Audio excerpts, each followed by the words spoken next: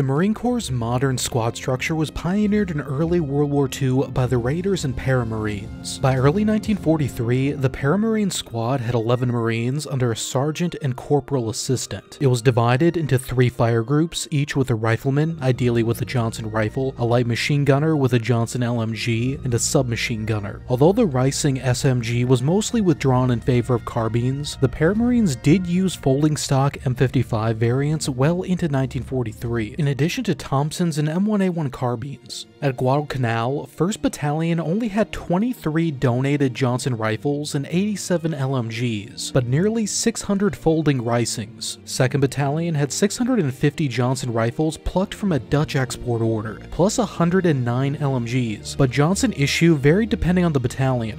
In 1944, this structure directly influenced the Griffith Board's recommendation for a squad with three fire teams of four men, meaning